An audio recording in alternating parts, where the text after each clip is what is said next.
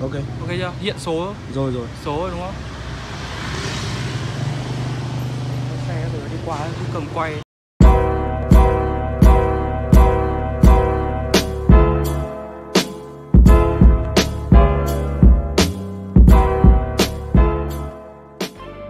Ok, hey, yo, xin các bạn đã quay trở lại với channel mình.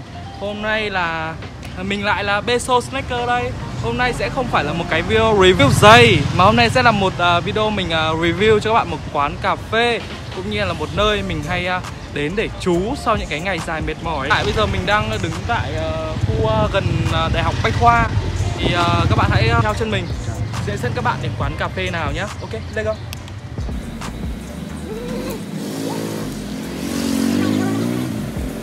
Tại bây giờ mình đang đứng trước cửa quán và quán à, tên là Hầm Trú Ẩn. Um, Mình đã có một cái footage ở quay ở cái chỗ này. Đã có một lần mình qua đây rồi nhưng mà hôm đấy trời quá tối là mình không thể nào quay một cái vlog tử tế các bạn được. Mình chỉ quay một số cảnh uh, footage thôi. Vì khi buổi tối ấy, quán bật đèn lên cũng uh, khá là đẹp nên là mình đã quay một số cảnh. Uh, những cảnh đấy mình sẽ để ở cuối video nhé các bạn hãy uh, xem đến hết video. Ok bây giờ hãy uh, theo chân mình vào trong uh, quán hay không? Đây là một chút về không gian của quán. À, đây là đây tên quán là hầm trú ẩn nơi các bạn có thể trú sau những ngày dài mệt mỏi hoặc là bị cuộc đời nó vật quá thì bạn có thể đến đây trú ẩn. Cho cuộc đời nó bớt mệt mỏi đi một chút. Đây là một số chỗ ngồi. Thì quán tương đối nhỏ. Thế là nhưng mà cảm giác đấy rất là thoáng. Có những cái khung cửa như thế này. Thì cảm giác các bạn là thoáng. Các bạn có thể nhìn đi ra ngoài đường này đấy những cái đàn guitar hoặc ukulele hay cái gì gì đấy thì các bạn có thể đến uh, hát hò hoặc là chơi cùng bạn bè ở chỗ này. Okay. thì đây là một người bạn đồng hành của mình bạn đông. Thì uh, đây là một chút về hình ảnh của quán. Uh, đằng trong cái footage ở tí nữa thì cũng có một số hình ảnh về cái à, những cái hình ảnh ở đây. Thì sẽ đi order một chút uh, nước nhá. Thì bảng giá đồ uống này có một số cái nước mình thích ở chân tuyết đó hiểu đấy đấy số giá chung là giá đây là khá là ổn. Giá không quá mắc mà khá là giá khá là sinh viên. Ok đó. Đấy cho mình order đồ.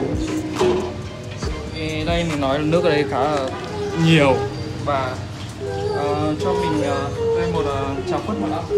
Ở với mật ong đúng không ạ? Vâng. Ờ, Xin thì khi bạn order nước ấy, bạn nhận được một cái thẻ như này. Để như kiểu là bao giờ nước có ấy sẽ rung lên ấy, rung rất là mạnh ấy các bạn ạ.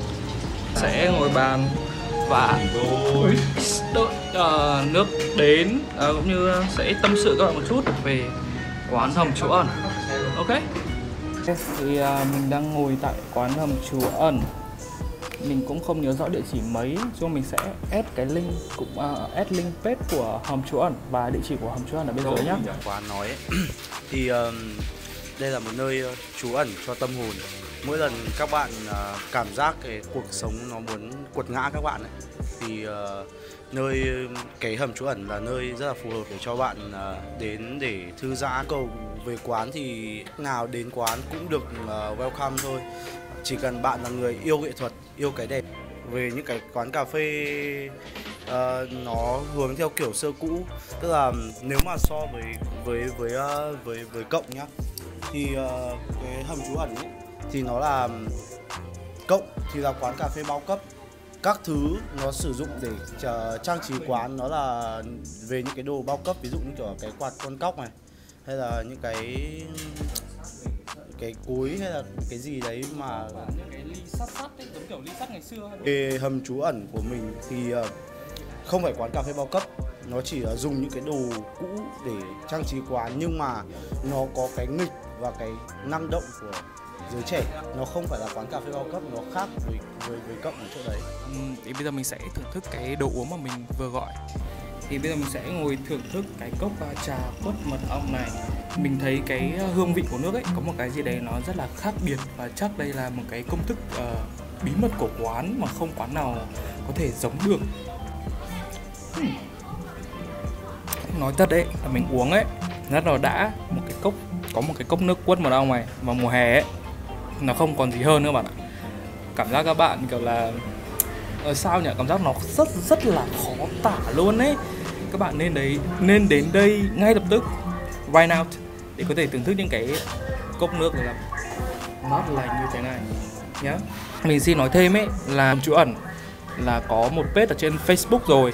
Các bạn hãy lên trên đấy uh, like page cũng như là để xem những cái thay đổi mới của um, quán trong thời gian tới. Và mình nghe ngóng đầu đấy là quán sẽ có thêm uh, những cái loại nước mới như, như là trà sâm dứa hay gì vậy và sẽ có thêm điều hòa nhá. Đấy là một điều mà các bạn hiện tại ở Hà Nội bây giờ rất là thích.